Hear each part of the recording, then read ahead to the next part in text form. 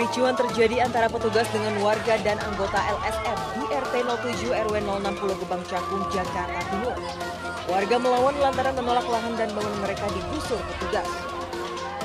Warga menilai amar putusan sidang tidak sesuai dengan lokasi eksekusi sehingga harus ditolak. Selain itu warga juga menyayangkan jika keputusan eksekusi dilakukan secara tiba-tiba sehingga tidak sempat mengosongkan harta benda mereka.